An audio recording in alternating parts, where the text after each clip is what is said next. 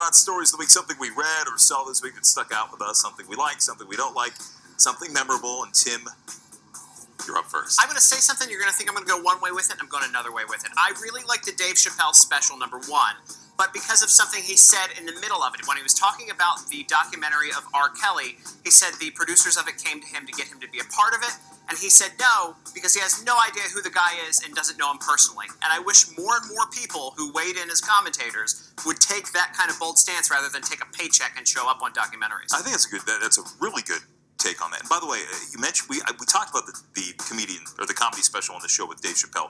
So much blowback, and the one thing that stuck out to me was somebody was complaining online. Somebody had said something about the special.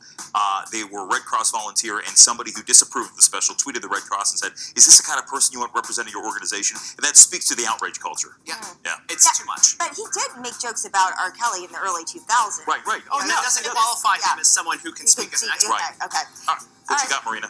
Uh, a little bit on a serious note, as we are now looking at this pumpkin spice latte. Uh, yeah, it's getting cold, people.